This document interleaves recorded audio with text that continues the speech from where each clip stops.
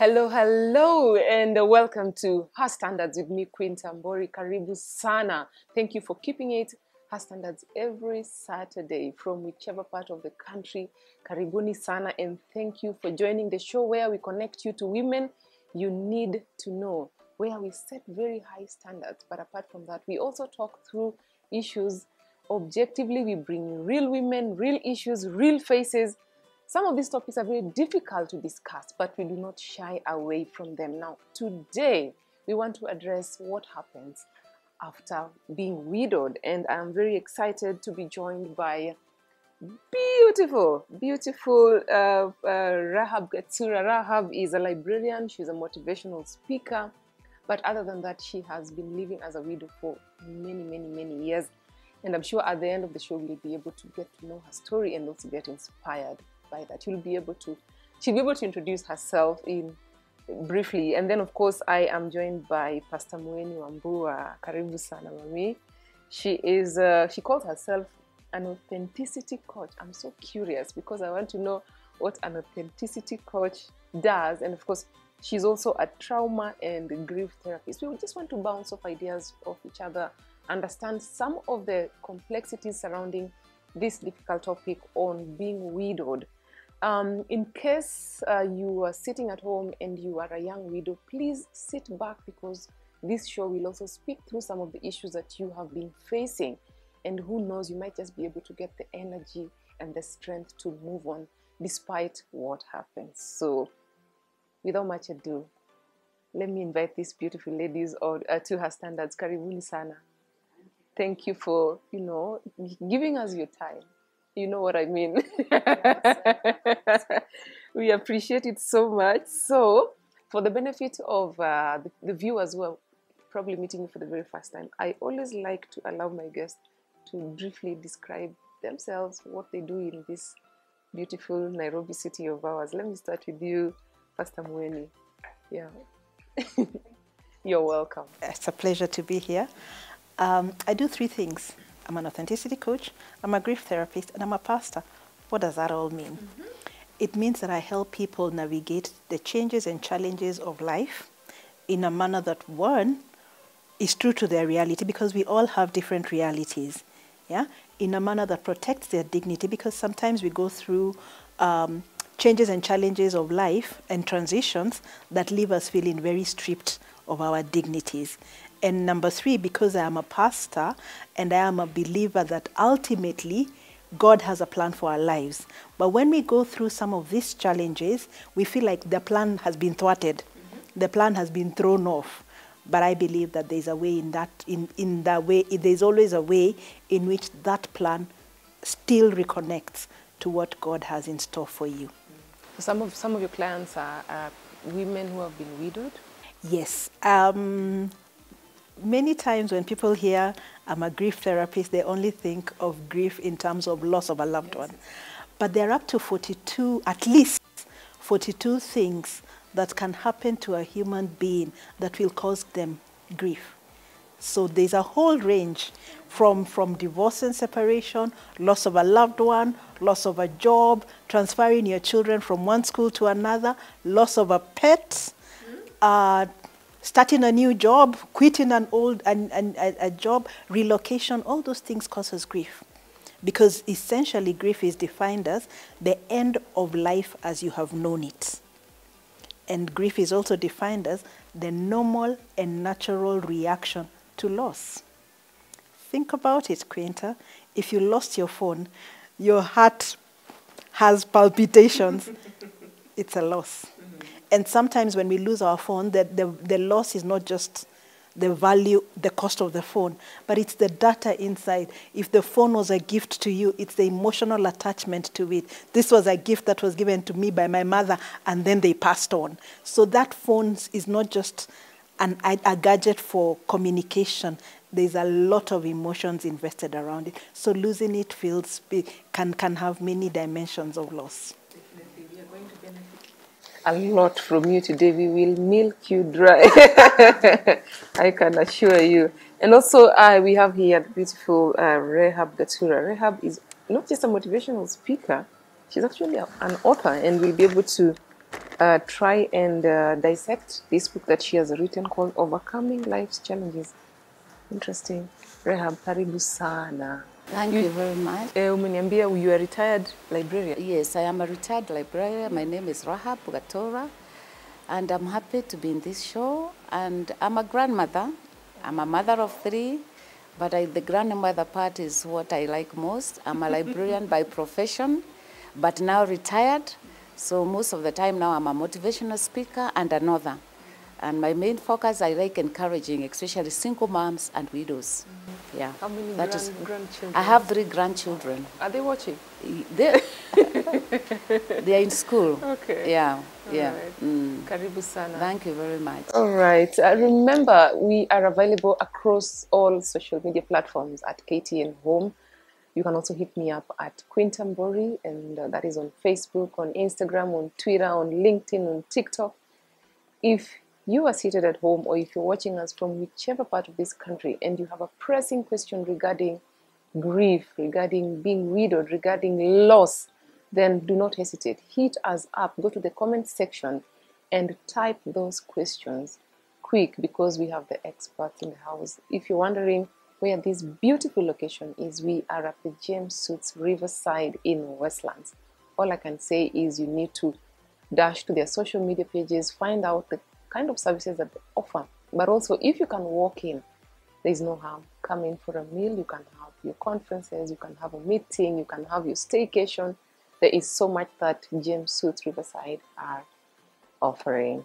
Now we're just gonna go right into it. I'm going to read what Rahab wrote, has written at the back of her book. She, she says that none of us is immune from the storms of life. The difference is how we handle them.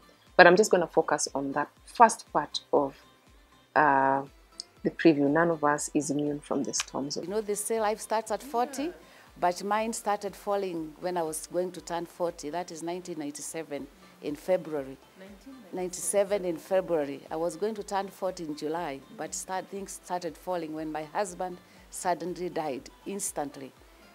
he had actually he took his children to school because those are the times when the people used tuition was there so in private school they would ask the students the children to be taken to school so that they can perform better so he took them it was a saturday he took them to school in the morning and then he said he had a, a toothache i challenged him why are you keeping on saying holding your cheek why don't you go and get checked so after dropping the school children in school he went to see his dentist and came back, picked the children, and came, brought them home. We had lunch actually of Githeri.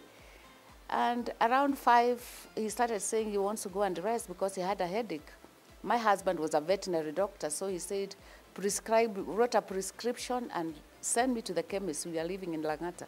And I said, fine, I obeyed as a wife and went and got medication. As I came back, because his brother was visiting, I heard people speaking in my son's bedroom, and I got surprised because normally we do not have guests going upstairs.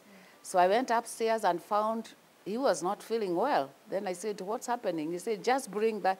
He shouted and said, Just bring the painkiller, I'll be okay. And as he took it, I saw the condition was not improving. I insisted, Let's go to the hospital. And of course, we went downstairs and we got into the car, and the children were a bit shocked to see the father is who had taken them to school and picked them. He looks a bit weak. So I sat on the driver's seat and I told him to sit at the back with, his, with, with the brother.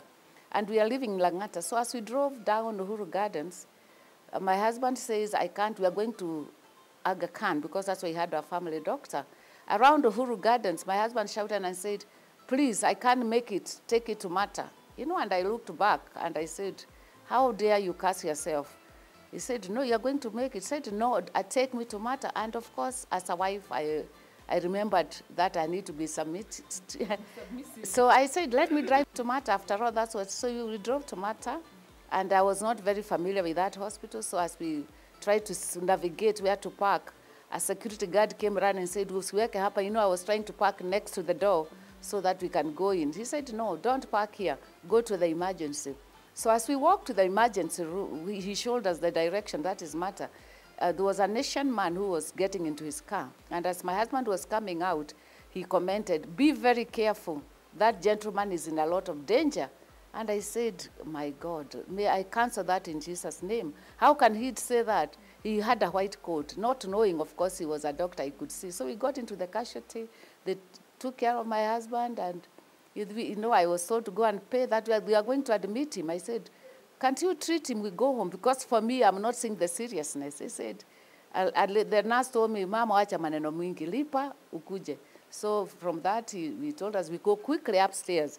You know, they had already connected an oxygen cylinder. And I thought maybe it's not enough because she's telling us we go up, not knowing it is a seriousness. So we went upstairs to Mater Hospital. I was not familiar. There's not, they, was doing, they were doing renovation, so there was no sign of HDU ICU. So they connected him to one machine, one bed, and immediately they changed. So I thought maybe the machine there is not, not knowing that was HDU. Now this is ICU. In this process of admission, I had, they asked me who is our family doctor, and I had told them. And within no time, I saw my, our family doctor coming in, and I said, Kenya is so advanced. They really have to call the family doctor, not, not knowing they had called my, him because my husband was in serious. So as they were treating him, I was walking around, Now I had my brother and his brother who had come to visit. So I was walking, walking about, and you know, at one time they closed the curtains, and I thought because I was praying and you know, singing a bit quietly. And they closed the curtain, and I saw is, you know, the brother said, no, this, the way these people are running, my brother is in a lot of trouble. Let me go and call our elder brother. So he went. Unfortunately, they had gone out for dinner, so he, but he left a message. Anyway, around 9 o'clock, the doctor who was treating him at casualty came outside, and his eyes were red, and he was a young man. He, was, he, didn't, he looked okay. Then he asked, are you the spouse? I said, what is it? What is, is there anything wrong? Because now he has, are you the doctor? He said, why? The doctor is calling you, your family doctor. I said, why are your eyes red? Why are you looking so different? He said, he just held my hand and took me inside where our family doctor was. And then the doctor held my hands and he told me, we have lost Daktari. They used to call my husband Daktari because he was a veterinary doctor. And I thought, what is he talking about? We have lost him. Now he's, I didn't really digest what that was because now he's in the night.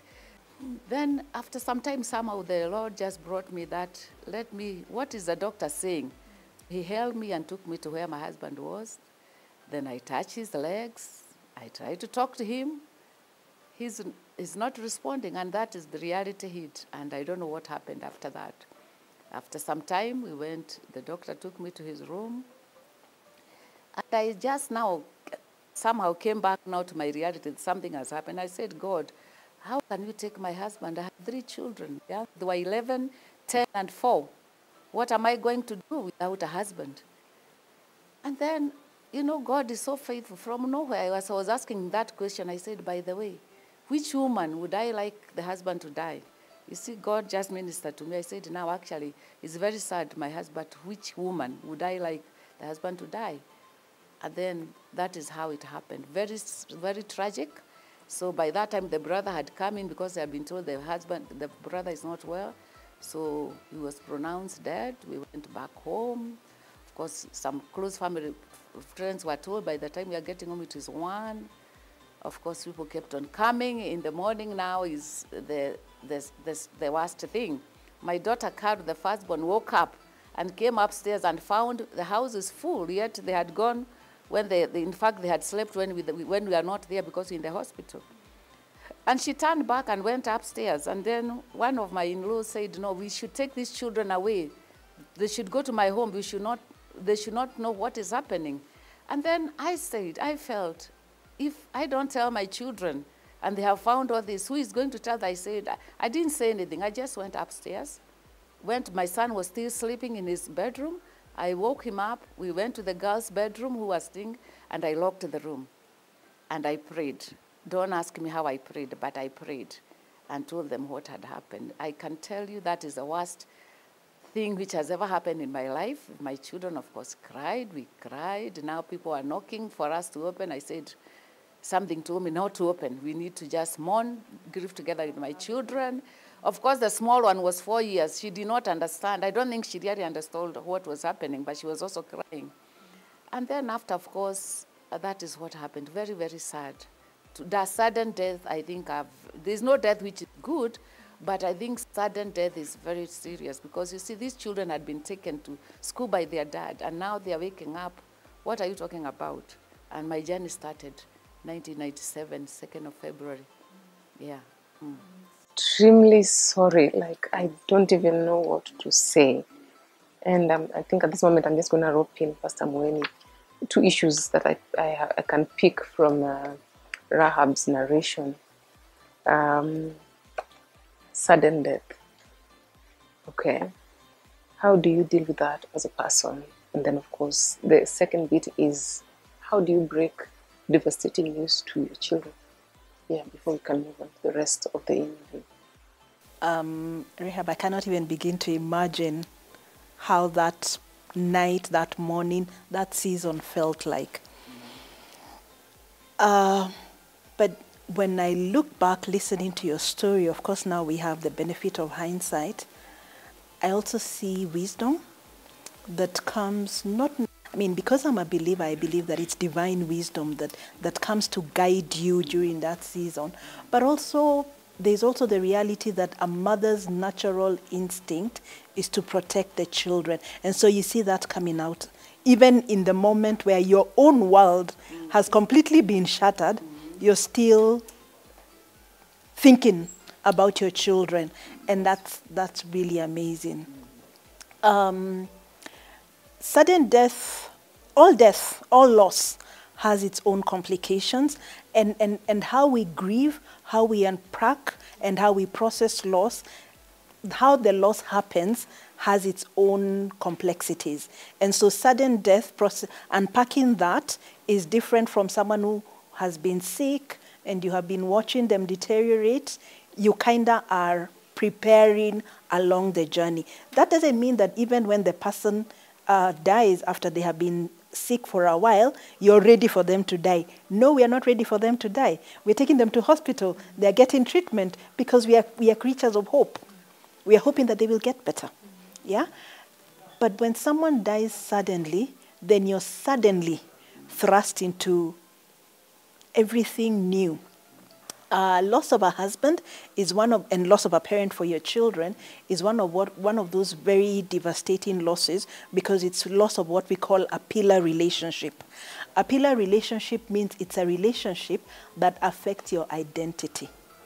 You now are no longer Mrs. So and so. You are now who? You're left there thinking, whose wife am I? Who's the Who's, man? who, who, who, who do I belong to? You know, you're no longer your father's daughter, and I'm no longer my husband's wife. Who, who do I belong to? You know, and your children, this is their father. Who do we belong to anymore? And, and so pillar relationships impact identity. With loss of a spouse, there's also an income issue. You know, are we then being thrust into becoming destitute? Are we, what, are, are we going to have to change our lifestyle? What's that going to look like? But then there's also loss of, um, when you lose your husband, you lose your present and you also lose the past that you have with him. And you also lose a future that you had planned for. You had dreamed together. You had a future planned together. And and the other losses that accompany this because when you got married it was partly because I want companionship. You are very clear. I'm not. I don't want to spend life by myself. Uh, you started having a family together, so you're also clear that I have someone to parent with, and so the future of parenting with with that with that with with someone is also lost. For your children, losing a father is the future looks bleak, and so all those losses have a bearing on how you grieve and how you how long the journey looks like and how that's going to how you're going to heal. Essentially, uh, Quinta, loss and grief cause distortions. Distortion, distortions are essentially three. One, it distorts your view of yourself. Who do I belong to anymore? Because we belong to ourselves. We never remember that we belong to ourselves. We never remember that we belong to God. But we, we always think that we need to be attached to something to give us identity. So grief causes a distortion of self. Grief causes a distortion of the world around us. How do we view the world? People will be pitying me. What will people will think I'm I'm a burden, you know? So it, it causes and and really when you're when you're widowed, people just want to love on you, but you feel like I'm being a burden. But it also causes a distortion of who your view of God. You know, you can be like, where was God when my husband died? I prayed, I fasted. What happened? Why are we being left like this? I serve in church. You know, so when these three get distorted, then everything is shifted. Wow, well, well said, Rahab. Uh, Mweni. Rahab, Mweni has pointed out something about when you lose your spouse, you lose your husband, you lose your past, you lose your present, and you lose your future. What are some of those things that you had planned with your husband that really hit hard the moment you learned of his demise? When you think of all that process, that you're going to be alone, and then just even talk of they will one day get married. I mean, am I going to be giving away my daughters alone? Or, you know, those small, small things, they, they look nothing, but they really bother you. And you say, God, is it, what, how is it going to be? Because that's reality. And then you find your life, as my sister has said, it's cut short because your dreams are shattered.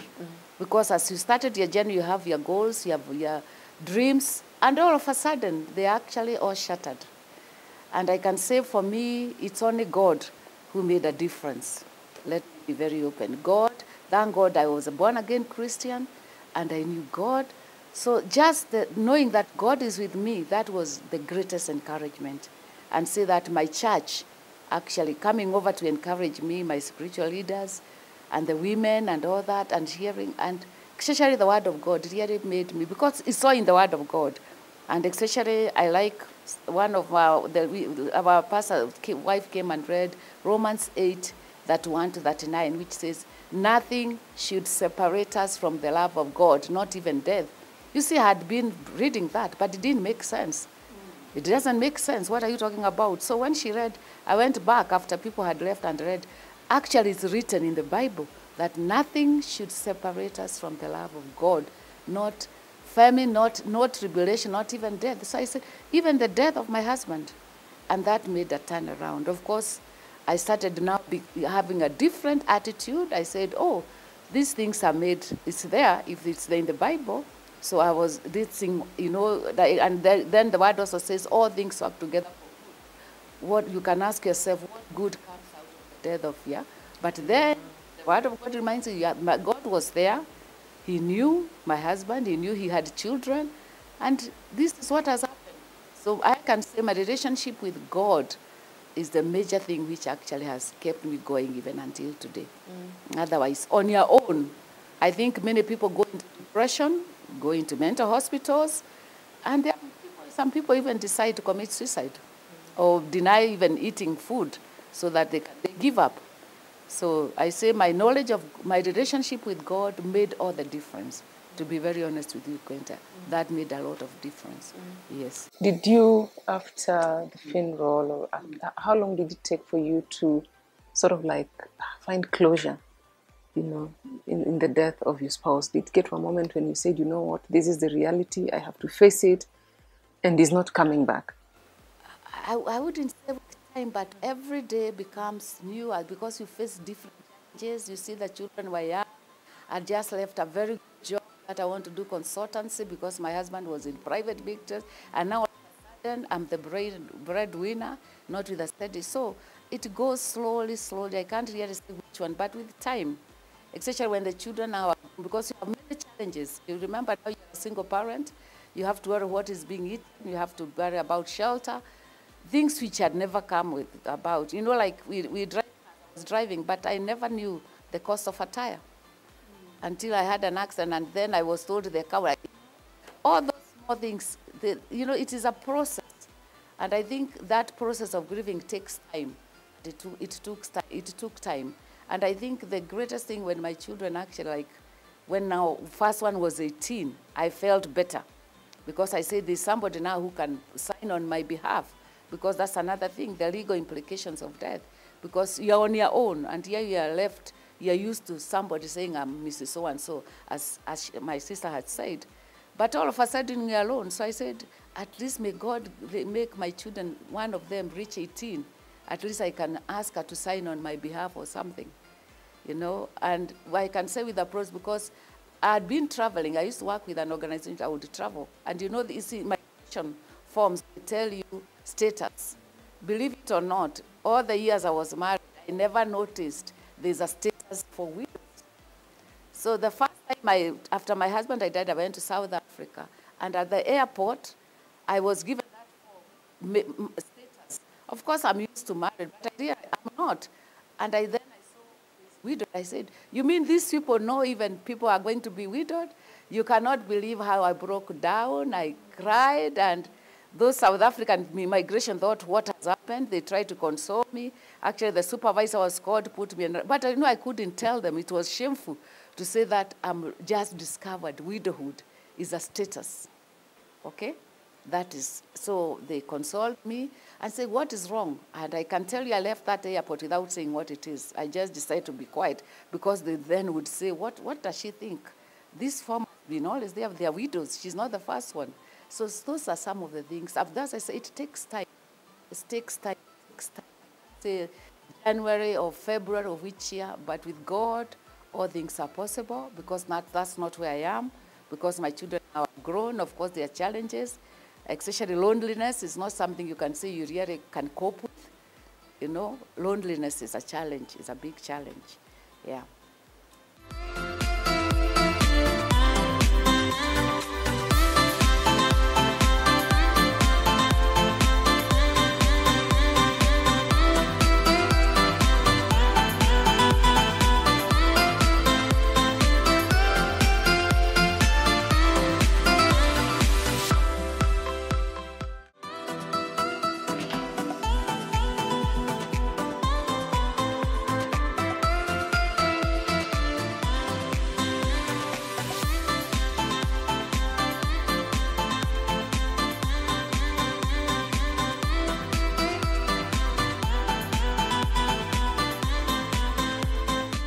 Widowhood is indeed a status, uh, Rahab. In fact, um, in Kenya, there are many widows. I, I decided to dig up some figures. We have about 8 million widows in Kenya. And that is not a small number. They say that's about 15% of the population. Globally, there are probably about 258 widows. Uh, you know, uh, Pastor Mweni, when we are walking down the aisle, the image we envision is that of a happy ever after. We never really envision uh, that uh, bliss being cut short because of the one misfortune or the other, including death.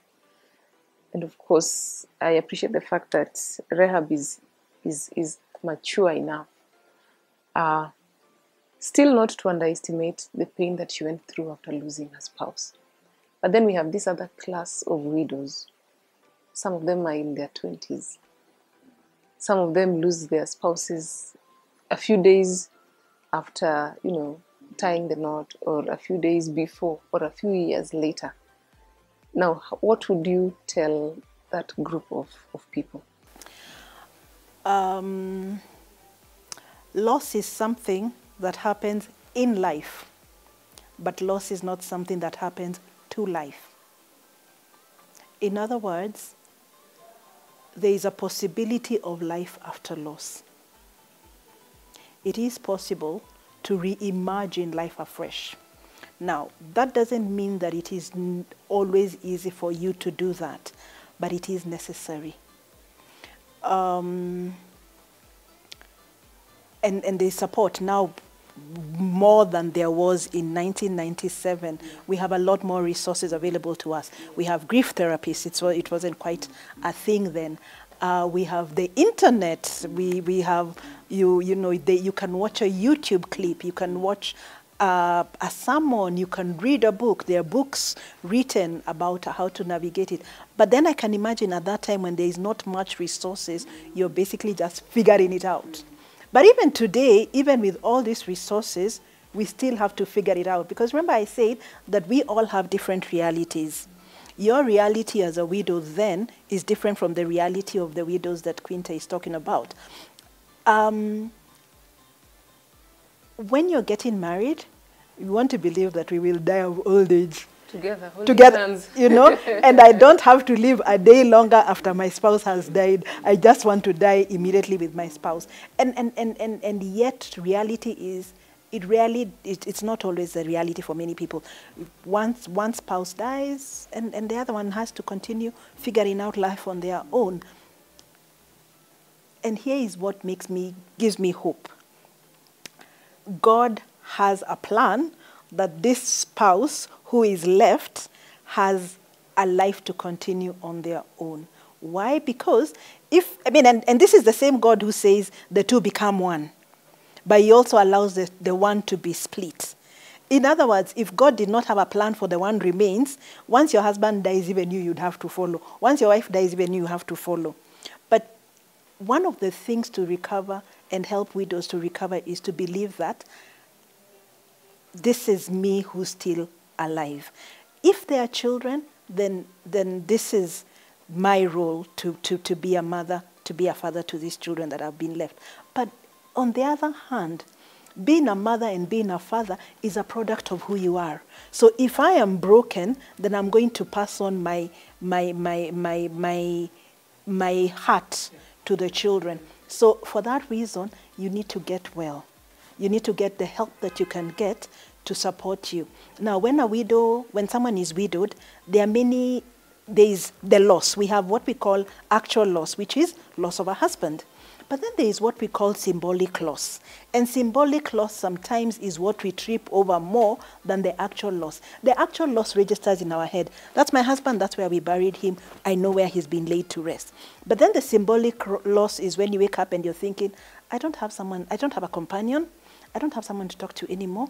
I don't have someone to parent with anymore. I don't have someone to even complain about the behavior of the teenager. You know, just the normal everydayness of life.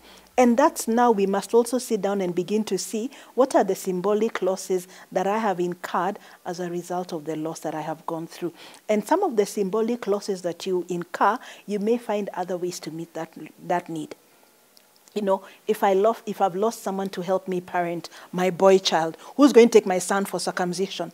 Can I talk to my brother? You know, so you begin to find gap fillers to hold you and carry you through those seasons. But remember that the relationship between a man and a woman is so intimate that there are certain places you cannot find a gap filler. And so you need to be able to find ways to get healthy and get the support you need. Unfortunately, it also means that widows become very vulnerable. Widows become very vulnerable in, in, in, in light of loss. And they are vulnerable in many ways, in many dimensions. They are vulnerable financially, they are vulnerable um, emotionally, they are vulnerable uh, spiritually. They're, if they're in a church that does not support them, they are vulnerable um, uh, uh, geographically, sometimes there are places I cannot continue to live here. I cannot continue to navigate this business. There are many ways in which widows become vulnerable, and those vulnerabilities are the challenges of the widows that you're talking about, especially the younger ones. Yeah. How do we then, uh, Pastor Mueni, how do we then prepare?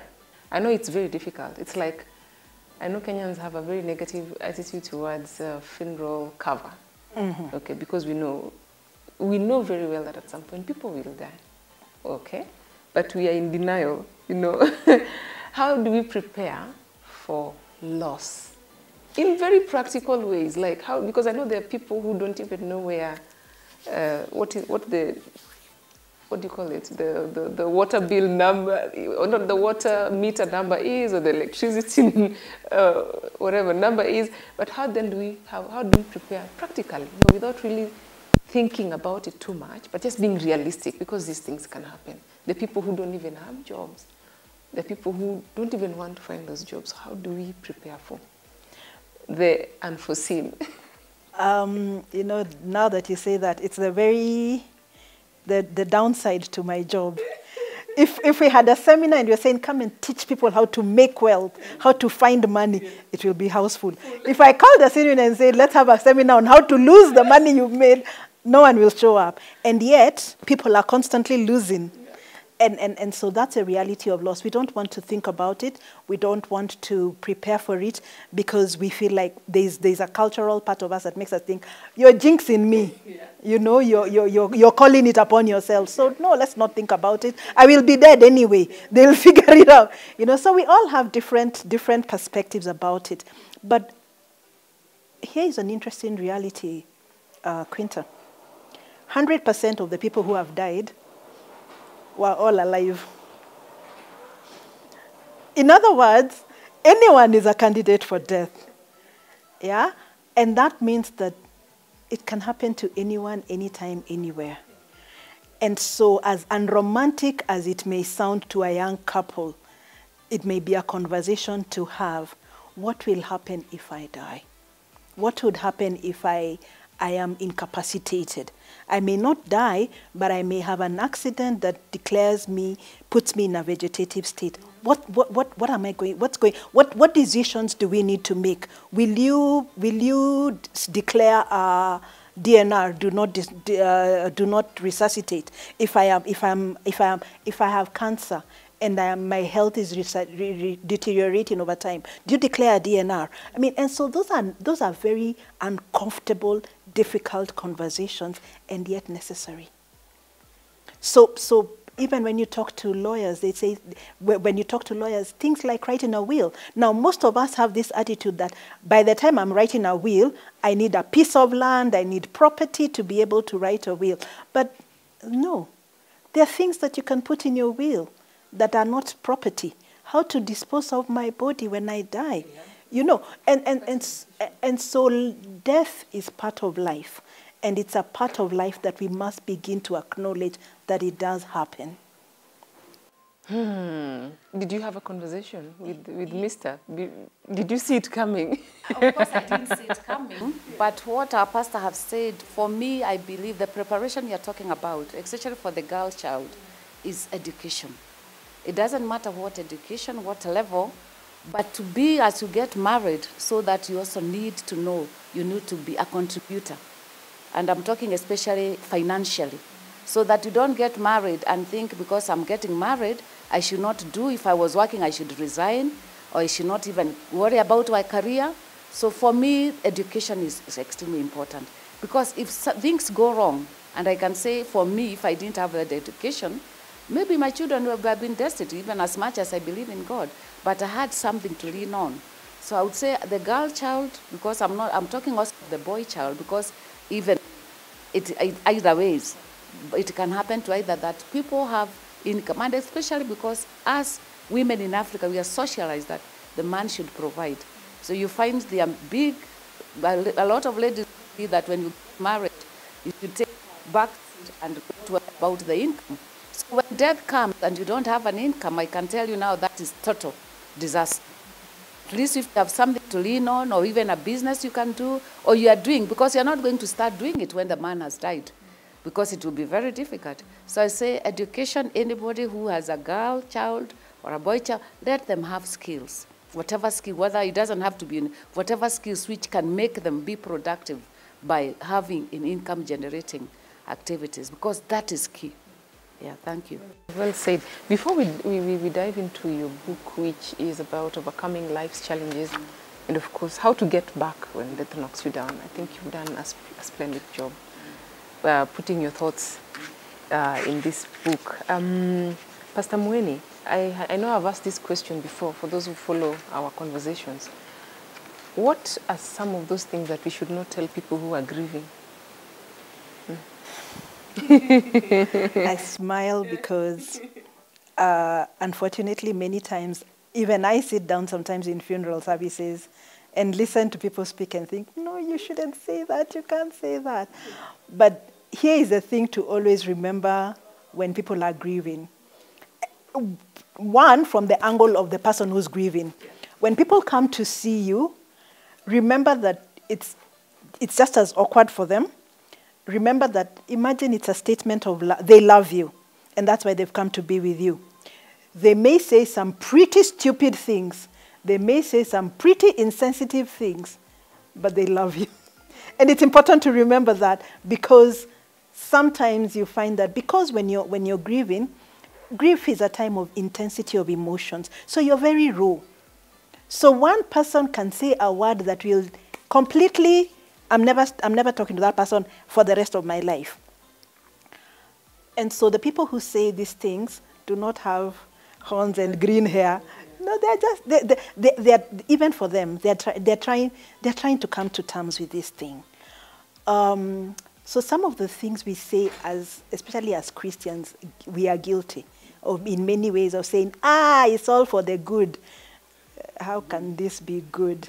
Uh, we also say things like, ah, you've lost a baby, don't worry, you'll get another one. I don't want another one. I want this one. Uh, then there are other things that we say that are, are supposed to be a gentle way of saying that thing. But you know, a friend of mine always says there's no nice way of telling somebody your child has died.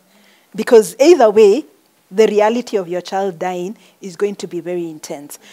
But sometimes, as, as, as, as human beings, as Christians, we also tend to really sugarcoat things. So we tell children, Daddy has gone to be with the Lord. And so a child is left thinking, but we go to church, Daddy has been with the Lord on earth. Why do they need to go away to be with the Lord? But then also sometimes they think that he has gone to work and he comes back. So he's gone to the, be with the Lord. He's gone, he'll be back. So sometimes we need to tell it to children as it is, but in age appropriate uh, terms. So some of the things we need to stop telling people is, I know exactly how you feel. No, you don't. Even if I lost my husband and uh, God forbid, I lost my husband today, and Rahab came to visit with me, it would be very inappropriate for her to tell me, I know exactly how you feel. You have no idea. Because you don't know the relationship I had with my husband, and you don't know me, and you are not me. So you cannot know exactly how I feel.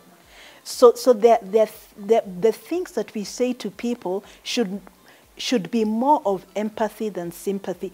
Empathy says, you're in a hole. I will come down into that hole with you and I'll sit with you in that hole and feel the experience of being in the hole. Can I just come and sit with you and not say anything? Yeah. Ministry of presence. Just be available. Just be present. And sometimes when we will visit you and then there'll be, we'll talk about everything else.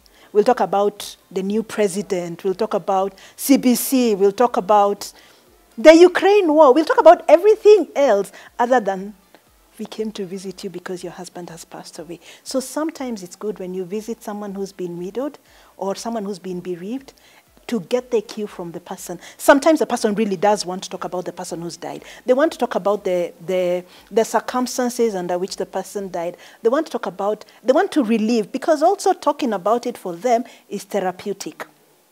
But sometimes the person doesn't also want to talk about it, you know, and that's so that's not the time to ask, eh, how did they die? Because it doesn't matter how they died, they died. Whether he died in a car crash, whether he died, whether they, they died by suicide, whichever way they died, that's not important. And so sometimes it feels like they're just being nosy. It's gossip, material, you know. But that's not your pub. This is not about me. It's about the person that I am visiting. And that's the important thing to always keep in mind. Now, unfortunately, sometimes as ministers of the gospel, we also have a feeling, we also show up at, with people who are bereaved with an intention to defend God. You know, and so you show up there and you say some not necessary things. Imagine it's also possible for a pastor to come up and say, you know what, even I don't understand this. Because guess what? Grief leaves us very aware of how much control we don't have. And it leaves us all vulnerable. And sometimes the best way to honor your vulnerability is to also show up with my own vulnerability. Yeah. so much. I'm going to ask you one final question, but uh, Rahab will speak first. Uh, we have a few, just a few more minutes to go. Think about the secrets that somehow get to the open once we have lost, we have faced some kind of loss. And how do we deal with that? I'm talking about children, I'm talking about wives, I'm talking about wealth. There's so much that goes on. There's so much theatrics that happens behind behind the scenes for many people, majority of people, especially public personalities after the loss. So just hold that thought. Let me get to Rahab because I want to uh, look at some of the things she writes in her book. Where is it available, Rahab? The book is available. Actually, you can, you can. It is available in the. You can get. You can call a number which I'm going to give, Okay. and then you can pay by till number. And it is available. You can. It can be delivered to you within the city center, and outside the city center, you, there is a delivery fee, but it's available, and also a soft copy is available. Is I'll give all the details. You yeah. the details. Yeah. Now you say something very interesting here. That uh, if you look at chapter seven, where you are tackling dealing with rejection and stigma, you say some people treat widows like pieces of wood and not human beings with emotional feelings. What was going through your mind when you were writing this chapter? I was writing that because of what I had experienced. Because I had some people, even in the in the church circles, and would make, you know, like you keep on repeating your clothes. And I wonder, this person never told me, you know, anything like that. Why are they telling me now how I'm dressed? So it's like, after all, now I can say whatever I want. And people say all sorts of things, actually. And they, oh, you're looking, you are looking, you know, you, don't look, you look very, you know, funny comments, you know, something like that. And they feel this person doesn't have feelings.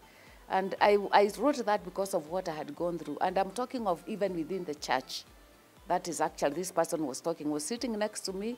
The church is going on, and she says, Oh, Rahab, you like repeating your clothes. And I've just been bereaved. Three months, you know, you, you are not even thinking about dressing life. It's all darkness. If when I go to the wardrobe, I'm not looking at even the colors. In fact, dark colors is what sometimes I somehow not planned, but you feel you just, everything is closed. And somebody makes such a comment and you just wonder, you know? And that is exactly what I was talking, and it is real. And I'm saying it doesn't have to be even outside the church, within the church. And especially even in the families, people make comment, oh, these days you are not, you are looking like this, these days you are looking, you are very negative, you know, and in, somebody will not tell you such a thing when you had your husband. It's like you are covered, and now the umbrella has been, it is raining, the umbrella has been closed, everybody is free to say whatever they want, and that is the reality. Yeah, so that's a personal, and it is true. And as you, she was, our pastor was saying, sometimes it's good just to keep quiet. If you visit somebody's bereaved, if you are not, just keep, just be there. Actually, go around, help around, sit next to that person. Because some things people say, especially when somebody is bereaved, it's very bad to start telling person like the widow, nini? And you know the person is already dead. And you're asking that person, what do you expect me to tell you? You know, at that time. In fact, you should not bring the sickness. You should just be there, and you know, just to, to, be, um, to be with me. Or you just keep quiet. Yeah. Anyway, as we wind up, as we wind up, I can see uh, the clock is ticking. Rahab writes in chapter 6, uh, putting your house in order, she says, Widows face many unexpected challenges. Some, some stem from the fact that many African men keep se- secrets from their wives.